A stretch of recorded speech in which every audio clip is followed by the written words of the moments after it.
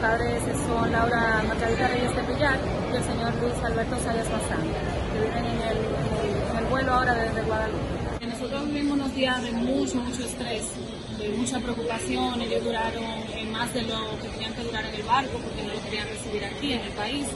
Eh, pero gracias a Dios pudo solucionarse y llegan hoy o están ya llegando a, este, a esta hora y esperamos en Dios que, que todo esté bien, están haciendo los chequeos de lugar, salud pública y, y, esperemos en Dios que estén bien, seguro lo van a poner en cuarentena, pero estamos felices con eso y esperamos que salgan, que salgan airosos de esa situación. ¿Las autoridades qué le han dicho a ustedes hasta el momento?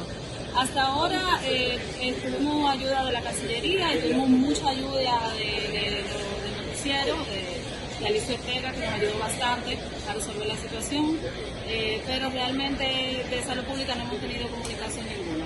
Pero sé que están revisándolo en este momento. ¿No le han dicho si lo van a aislar, eh, si le han tomado algún tipo de medida con ellos? Eh, no, todavía no hemos tenido ningún tipo de comunicación sobre eso. ¿Qué cantidad de personas habrían llegado según la, la información que Tenemos una información de que el, el vuelo venía aproximadamente 16 personas, eso tenemos estimado, y hay otro vuelo que también estaba en camino, ese no sabemos en qué estado está. Okay, ¿Desde dónde salió ese vuelo? Desde Guadalupe.